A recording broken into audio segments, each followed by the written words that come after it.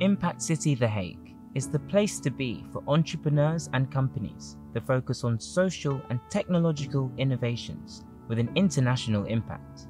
This also applies to the renewable energy sector, which also comes together at Campus at Sea.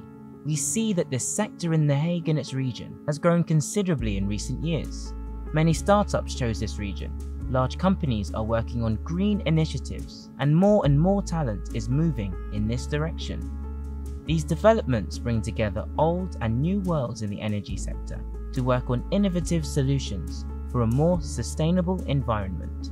Driven by oil and gas in the past, we are now heading towards a low carbon future with wind as one of the leading energy sources. The Hague is a key location for us. It means you're close to the Delft University, you're close to the local schools, especially now with building our projects and maintaining our projects, but also close to the political area. And that's of course important because it's a balance between technical innovation, company perspective, but also the politics. And that's so key to have it all working together to make it happen. A great innovation just off the coast of The Hague is the PosHYdon Project, a world premiere where hydrogen will be produced offshore on a platform, which will offer us important learnings for future development. The existing infrastructure that we have can be used in the energy transition.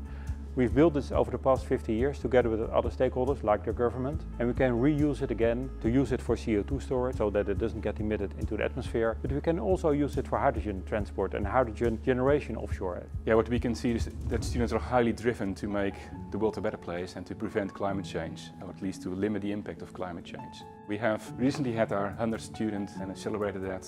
From our students, about 40% is working in the industry, about one third is working with us. And I think that's strong because if, if they either work with us or with our competitor or with our customers, it's essential to help the industry the next step forward.